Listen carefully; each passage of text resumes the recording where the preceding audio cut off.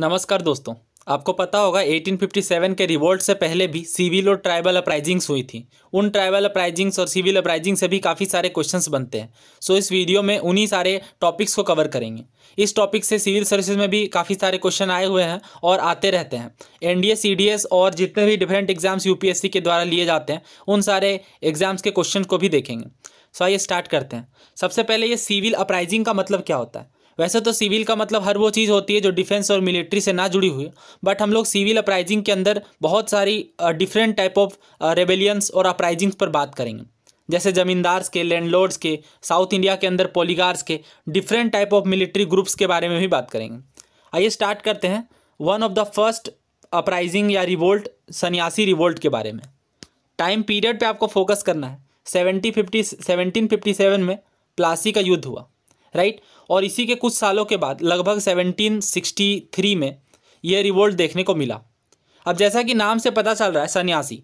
सो इस सन्यासी रिवोल्ट में क्या हुआ एक्चुअली देखिए, सत्रह सौ सत्तर के आसपास बंगाल में काफ़ी फेमाइन की सिचुएशन देखने को मिली, काफ़ी इकोनॉमिक कंडीशन ख़राब हो गई, और भुखमरी भी काफ़ी बढ़ गई उस टाइम पे।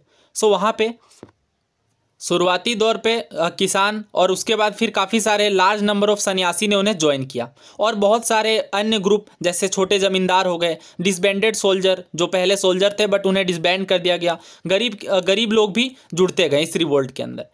अब इन्होंने क्या किया? कंपनी के फैक्ट्रीज को रेड किया ट्रेजरीज को लूटा कंपनी कंपनी फोर्सेज से लड़ाइयाँ की। अब वारेन हास्टिंग वारेन हेस्टिंग्स जो कि उस टाइम के गवर्नर जनरल थे, उसने काफ़ी प्रयास के बाद इस सन्यासी रिवोल्ट को दबाया। अब इसे फ़कीर रेबेलियन भी बोलते हैं फ़कीर विद्रोह के नाम से भी जाना जाता है। और हिंदू मुस्लिम की यूनिटी देखने को मिली इस रिवोल्ट के अंदर।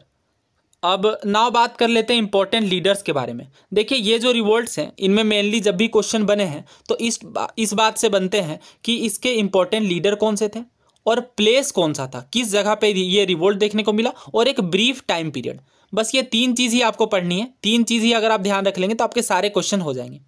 सो so, इसके इंपॉर्टेंट लीडर्स कौन से थे? आ, सबसे पहले मंजू मजनू शाह या फिर मजनूम शाह। ये दोनों ही नाम आपको देखने को मिल सकते हैं। और चि, चिराग अली हैं मूसा शाह भवानी पाठक और देवी चौधरानी। यहाँ एक बहुत ही इंपॉर्टेंट पॉइंट आप ध्यान रखिए कि सन्यासी रिवोल्ट जो हुआ था उसी के बेसिस पे बंकिम चंद चट्टोपाध्याय ने आनंद मठ को लिखा था। आनंद मठ एक बहुत ही फ़ेमस नोवेल है आपने ज़रूर नाम सुना होगा। इसके अलावा सन्यासी रिवोल्ट में पार्टिसिपेट करने वाली देवी चौधरानी के बारे में भी उन्होंने अलग से एक नोवेल लिखा है देवी चौधरानी जिस नोवेल का नाम है। और उसमें बताया है कि किस तरह से ईयरली रेजिस्टेंस में भी वुमेन का काफ़ी बड़ा रोल था और वुमेन के रोल को रिकोगनाइज करवाया। सो so, हमारा जो वंदे मातरम है वो आनंद मठ का ही एक स्क्रिप्ट है आनंद मठ से ही लिया गया है। ठीक है? किसने लिखा? बंकिम चंद चट्टोपाध्याय ने। और ये किस पे बेस्ड है? सन्यासी रिवोल्ट पे। बहुत सारे क्वेश्चन इस टॉपिक से बने हैं कि किस रिवोल्ट पे बेस्ड था आनंद मठ। तो ध्यान रख लीजिए, सन्यासी रिवोल्ट पे बेस्ड है। और इससे आप एक बात का और अंदाज़ा लगा सकते हैं कि आनंद मठ काफ़ी पहले लिखी गई थी। सो नाव वंदे मातरम जो है, वो 1875 में ही लिखा गया था। बट 1882 में, जिस ईयर में आनंद मठ प्रकाशित हुई, उस ईयर इसे इंक्लूड कर लिया गया राइट आनंद मठ के अंदर, वंदे मातरम को।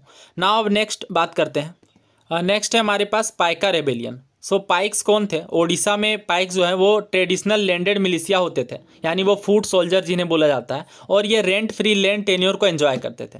और इस रेबेलियन को लीड किसने किया? बक्सी जगबंधु विद्याधर ने। ये नाम आप बहुत इंपॉर्टेंट है ये नाम। अगर क्वेश्चन बनेंगे तो इसी बात पे बनेंगे। अब ये जो है वो खुर्दा के राजा के मिलिट्री चीफ ऑफ़ फोर्सेस थे। सो मेनली इस रेबेलियन के पीछे जो रीज़न थी वो 1814 में क्या हुआ? जगबंधु बक्सी जगबंधु के एंसिस्ट्रल एस्टेट जो कि किला रोरंग था उसे कंपनी ईस्ट इंडिया कंपनी ने ले लिया और इन्हें पेन्यूरी बेसिस पे आ, मतलब इन जो इन्हें इनकी सैलरी थी वो इससे ख़त्म हो गई। सो मुकुंद देव के सपोर्ट से जो कि लास्ट राजा थे खुर्दा के और बाकी ज़मींदारों की मदद बक्सी जगबंधु विद्याधर ने रेबेलियन को लीड किया और ईस्ट इंडिया कंपनी के फोर्सेज को काफ़ी समय तक रोक के रखा और इसी रिवोल्ट को पाइका विद्रोह के नाम से जाना जाता है। सो आइए वन बाय वन करके क्वेश्चन करते हैं और उसके बाद जितने भी कॉन्सेप्ट होंगे वो साथ के साथ करते हुए चलेंगे। Which one of the following revolt was made famous by Bankim Chand Chatterjee in his novel Anand Math Anand Math में बंकिम चंद चटर्जी के द्वारा किस रिवोल्ट को फ़ेमस फ़ेमस किया गया? Bhil uprising Rangpur and Dinapur uprising Vishnupur and Birbhum rebellion या सन्यासी rebellion.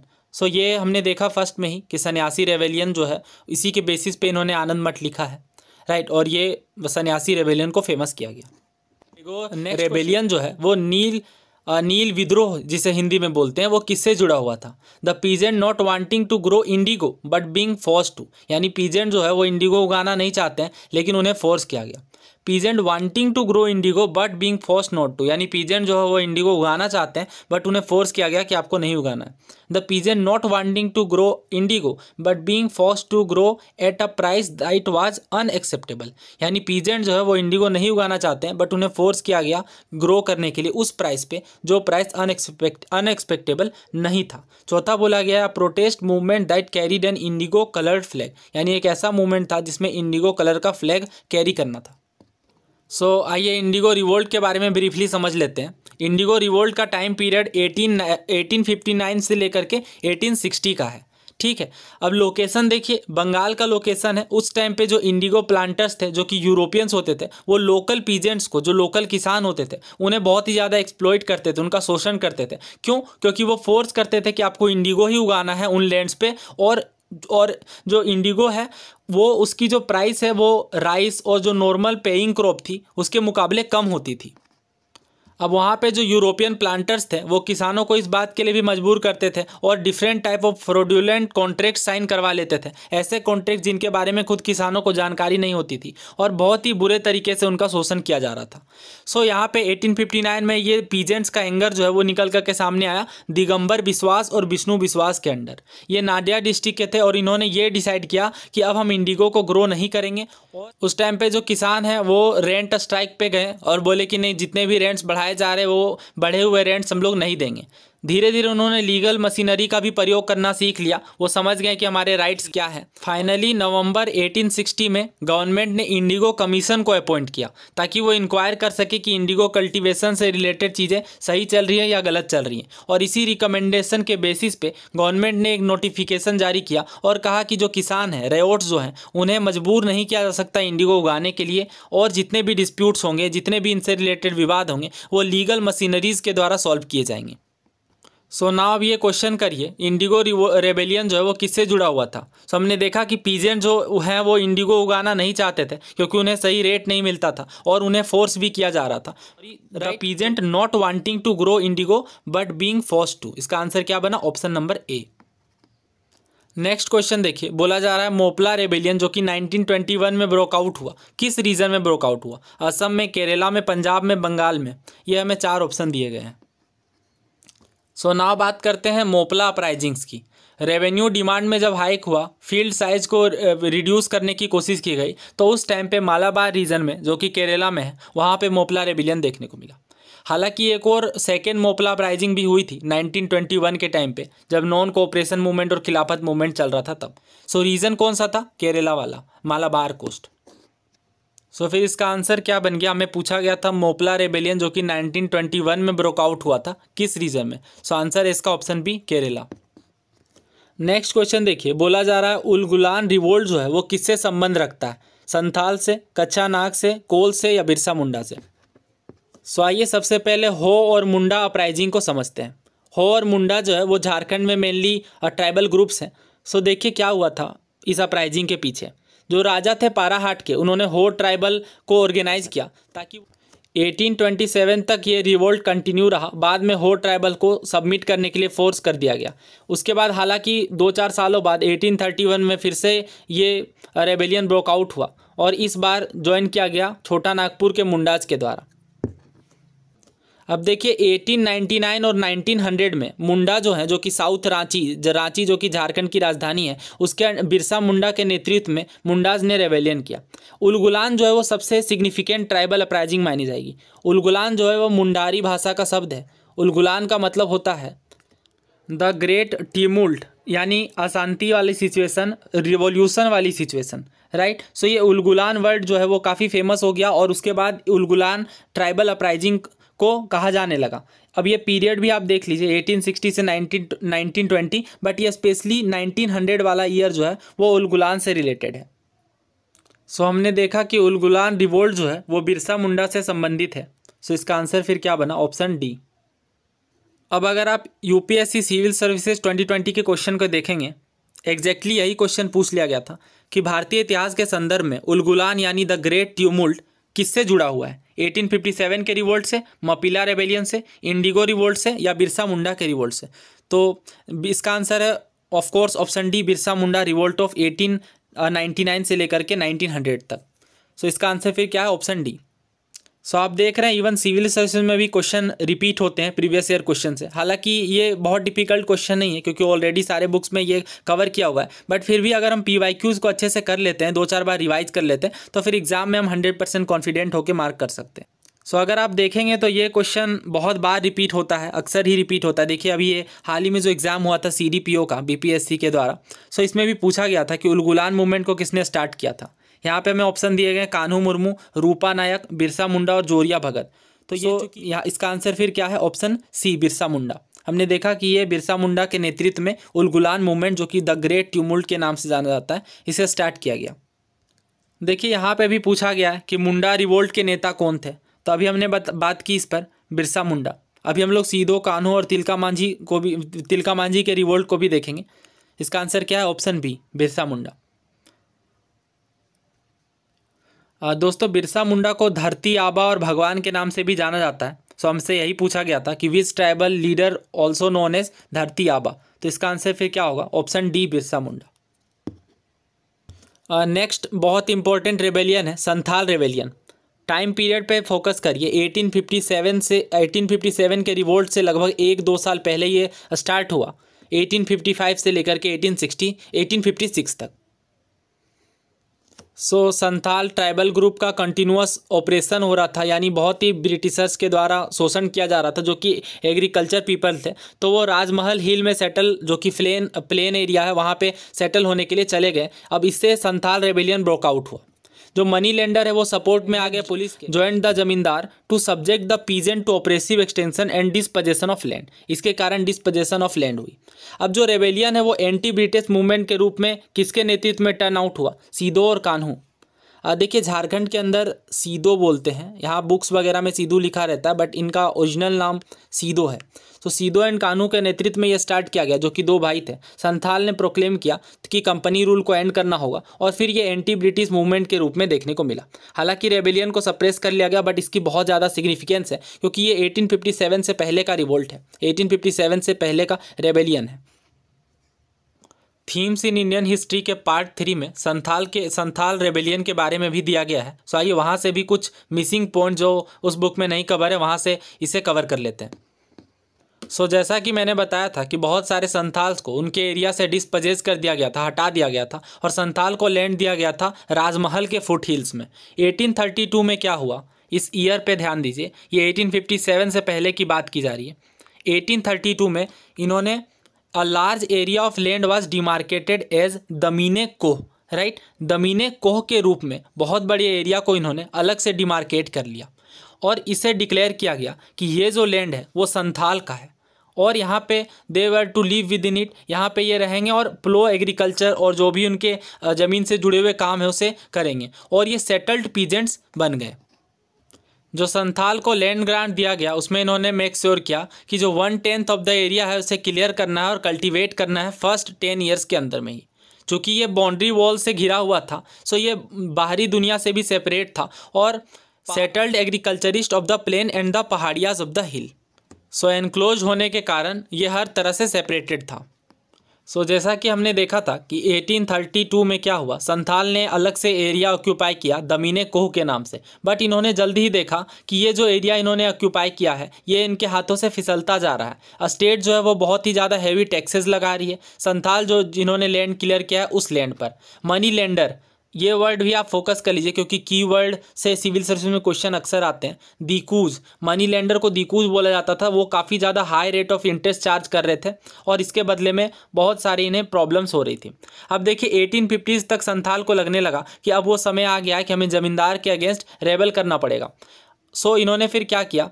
देखिए, ये यहाँ पे आपको ध्यान देना है rebel against zamindar money lender and colonial state ठीक है? सो जब मेन रेबल हुआ, वो जमींदार मनी लेंडर्स और कॉलोनियल स्टेट के खिलाफ हुआ। फाइनली जब संथाल रिवोल्ट ख़त्म हुआ 1855 के बाद 1856 में तो संथाल परगना को क्रिएट किया गया। संथाल परगना जो है, वो भागलपुर और बिरभूम डिस्ट्रिक्ट को कंबाइन करके बनाया गया था। सो फाइनली संथाल परगना को क्रिएट किया गया और इसके बाद कुछ नियम बनाए गए संथालों के सपोर्ट में। जैसे जो संथाल की जो ट्राइबल लैंड होगी, वो सिर्फ़ संथाल को ही ट्रांसफ़र की जाएगी। नाउ सिविल सर्विसेज़ 2018 का क्वेश्चन करते हैं। बोला गया संथाल अपराइजिंग के हो जाने के बाद कॉलोनियल गवर्नमेंट ने कौन कौन से मेजर लिए? एक संथाल परगना नाम की टेरिटरी को क्रिएट किया गया। सो हमने देखा था कि दो डिस्ट्रिक्ट को मिला करके संथाल परगना बनाया गया था। दूसरा बोला गया, यह इलीगल कर दिया गया एक संथाल के लिए। नॉन संथाल को लैंड ट्रांसफ़र करना। ये भी बिल्कुल सही है, क्योंकि संथाल के हित में ये बात की गई कि नॉन संथाल को लैंड ही नहीं ट्रांसफ़र किया जा सकता। सो यहाँ पे दोनों ही कथन सही है। हमसे करेक्ट स्टेटमेंट पूछा गया था तो option C both one and two is correct here next देखिए NDA D A twenty twenty का पूछा गया क्वेश्चन है। बोला जा रहा है व्हाट वाज दमीने को इन राजमहल एरिया राजमहल एरिया में दमीने को क्या था? सो हमने देखा था कि संथाल के द्वारा एक लार्ज लैंड को डिमार्के डिमार्केट किया गया था।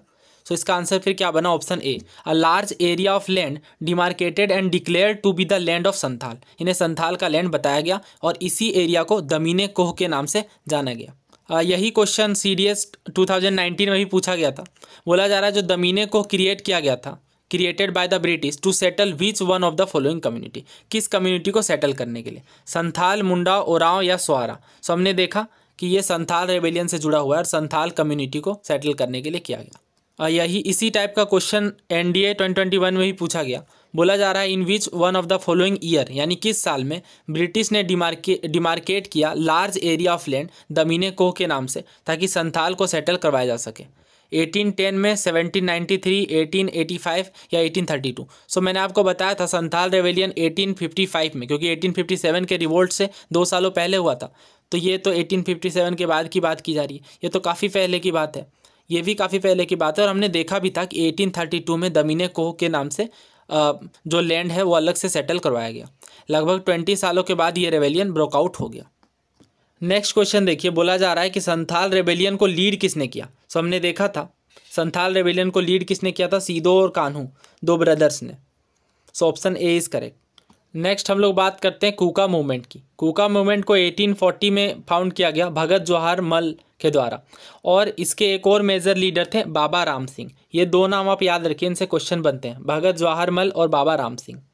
अब देखिए इन, इनकी जो मेजर सिग्निफिकेंस थी कास्ट सिस्टम का अबोलिशन करना और जो सिक्स में डिस्क्रिमिनेशन हो रहे थे उन चीज़ों को रोकना consumption of meat and alcohol and drug इन चीज़ों को डिस्करेज करना इन चीज़ों को रोकना और इंटर मैरिज की परमिशन देना। कुछ इंपॉर्टेंट ट्राइबल अपराइजिंग्स की बात करते हैं। देखिए पहाड़िया रेबेलियन के बारे में बोला जा रहा है।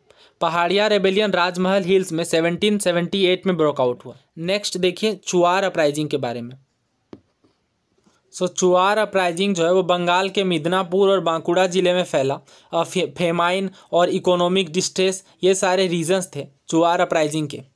अगर बात करें मोस्ट सिग्निफिकेंट लीडर की तो वो दुर्जन सिंह थे जिसे दुर्जोल सिंह भी कहीं कहीं आप पढ़ सकते हैं। और ये 1798 में अपने चरम पे था। नेक्स्ट इम्पोर्टेंट ट्राइबल रिवोल्ट है, वो उसका नाम है कोल म्यूटिनी। कोल म्यूटिनी 1831 में म्यूटिनी हुई। अब देखिए कोल जो है, कोल ट्राइबल ग्रुप छोटा नागपुर के इनहेबिटेंट्स हैं। छोटा नागपुर जो कि झारखंड के एरिया में मेनली कंबाइन करता है, रांची, सिंहभूम, हजारीबाग, पलामू, इन सारे डिस्ट्रिक्ट को कंबाइन करता है। सो बेसिकली 1831 में क्या हुआ? काफ़ी लार्ज स्केल लार्ज स्केल में लैंड ट्रांसफ़र हुए। कोल के कोल पीपल्स के द्वारा को, कोल पीपल्स से land transfer Hindu Sikh Muslim farmer और मनी लेंडर को किया गया और काफ़ी ऑपरेसिव और हैवी टैक्सेस लगाए जा रहे थे। इस वजह से बुद्धो भगत के नेतृत्व में 1831 में कोल म्यूटिनी देखने को मिला। ये क्वेश्चन देखिए बोला जा रहा है which of the following is not correctly match कौन सा करेक्टली मैच नहीं है? मोपला रिवोल्ट केरला में हमने देखा बिल्कुल सही रिवोल्ट कुका रिवोल्ट पंजाब में ये भी सही है। कोली रिवोल्ट महाराष्ट्र में ये भी सही है। चुआर रिवोल्ट जो है वो मध्य प्रदेश में नहीं बंगाल में था हमने देखा बांकुड़ा डिस्ट्रिक्ट में। सो इसका आंसर फिर क्या बन गया? ऑप्शन डी क्योंकि नॉट करेक्ट पूछा गया था। नेक्स्ट क्वेश्चन देखिए। बोला गया है कि which one of the following pairs is not correctly match कौन सा करेक्टली मैच नहीं है? मुंडा जो है वो बिरसा, हमने देखा बिरसा मुंडा रिवोल्ट और दूसरा है सीधो कानू संथाल ब्रदर्स बिल्कुल सही है ये भी। तीसरा बोला गया अहोम गोमधर कुंवर, ये भी सही है। चौथा बोला गया नायक टाना भगत। नहीं टाना भगत आंदोलन जो है, वो झारखंड के अंदर 1914 में शुरू हुआ था। और बिरसा मुंडा के आंदोलन का ही एक्सटेंशन इसे माना जाता है। जबकि नायक जो है, लक्ष्मण नायक बेसिकली इनका नाम था। और ये ओडिशा के अंदर का रेबेलियन था। सो हमें इनकरेक्ट पेयर पूछा गया था तो ऑप्शन डी यहाँ पे इनकरेक्ट है। नाउ नेक्स्ट क्वेश्चन देखिए। बोला जा रहा है कि कौन सा पेयर इनकरेक्टली मैच है? रामोसी अपराइजिंग चित्तूर सिंह के अंडर में किया गया? हाँ ये बिल्कुल सही है, हम अभी देखेंगे इसे। दूसरा बोला गया, संथाल रेबेलियन बिरसा मुंडा। नहीं, मुंडा रेबेलियन बिरसा मुंडा के नेतृत्व में किया गया था? संथाल रेबेलियन जो है, वो दो ब्रदर्स हैं, सीधो कानू असल में ये चार ब्रदर्स थे बट दो जो है वो मेनली प्रोपगेट किया इन्होंने। सीधो, कानू, चाँद और भैरव, ये चार भाई के नाम थे। सो इन्होंने संथाल रेबेलियन को स्टार्ट किया था। सो ये गलत है मैं क्योंकि इनकरेक्टली पैर पूछा गया था। और बिरसा मुंडा का तो मैंने बता ही दिया है उलगुलान या द ग्रेट ट्यूमुल्ट आप जिसे कहते हैं, मुंडा रेबेलियन और तीसरा है, रंगपुर अपराइजिंग ये सही है दीरीज दीरीज नारायण के नेतृत्व में किया गया था। चौथा बोला गया, कोल अपराइजिंग। हाँ कोल अपराइजिंग भी बिल्कुल सही है। एटीन थर्टी वन में बुधो भगत के नेतृत्व में किया गया था। नेक्स्ट देखिए, बोला जा रहा है the revolt of Khasis against the British was led by यानी खांसी के खिलाफ रिवोल्ट जो है, वो खांसी का जो रिवोल्ट है ब्रिटिश के खिलाफ, किसके द्वारा लेड किया गया? सुरेंद्र राय, टीटू मीर, बिरसा मुंडा या तिरोध सिंह? सो आपको पता होगा, गारो, खांसी और जयंतिया जो है, वो तीन हिली रीजन मेघालय में है। और यहीं पे खांसी अपराइजिंग्स हुई। खांसी अपराइजिंग्स 1830 के आसपास तिरोध सिंह या तीरथ सिंह के नेतृत्व में हुई। सो तीरथ सिंह के नेतृत्व में खांसी अपराइजिंग देखी गई। और लार्ज नंबर ऑफ़ आउटसाइडर जिसमें इंग्लिश मैन भी इंक्लूडेड थे, उनके खिलाफ ये ऑर्गेनाइज किया गया था। सो हमसे पूछा गया था कि खासी रिवोल्ट जो है वो ब्रिटिशर्स के खिलाफ किसके द्वारा ऑर्गेनाइज किया गया? तो आंसर फिर क्या होगा? तीरोथ सिंह या तीरथ सिंह। नेक्स्ट क्वेश्चन देखिए। बोला गया है, हमें रेबेलियन दिया गया और उसके ईयर के साथ मैच करना है। कौन सा करेक्टली मैच नहीं है, ये पूछा गया। संथाल रेबेलियन 1855 बिल्कुल सही है ये। कोल रेबेलियन हमने देखा 1831 में हुआ था। ये भी सही है। खासी अपराइजिंग्स भी 1829 में 18 हाँ ये मैंने आपको बताया था कि 1830 के आसपास। तो ये भी सही है। अहोम रे अहोम रेबेलियन 1815 में नहीं। अहोम रेबेलियन 1815 में ना होकर के 1828 से लेकर के 1833 तक असम वाले रीजन में चला था। सो हमें नॉट करेक्टली मैच पूछा गया तो इसका आंसर फिर बन गया ऑप्शन डी नेक्स्ट क्वेश्चन देखिए बोला गया है 1844 में गडकरी अपराइजिंग्स किस जगह देखने को मिली? कोल्हापुर में पूना में अहमदनगर में या नासिक में? सो so, 1844 में गडकरी रिवोल्ट या गडकरी अपराइजिंग्स महाराष्ट्र के कोल्हापुर रीजन में देखने को मिली। गडकरी एक हेरिडिटरी मिलिट्री क्लास है। उन्होंने अनएम्प्लॉयमेंट और एग्रेरियन ग्रीवांसेस के खिलाफ ये रिवोल्ट या अपराइजिंग की। ठीक है तो आंसर फिर क्या है? Kolhapur. Option A is correct here so so, यहाँ पे हमने 1857 से पहले जितने भी सिविलियन और ट्रैवल मूवमेंट ट्रैवल रिवोल्ट्स हुए थे वो सारे कवर कर लिए हैं। आई होप ये वीडियो आपको पसंद आई होगी। अगर ये वीडियो आपको पसंद आई है तो प्लीज़ वीडियो को लाइक कर दीजिए और चैनल को सब्सक्राइब करना ना भूलिए। Thank you so much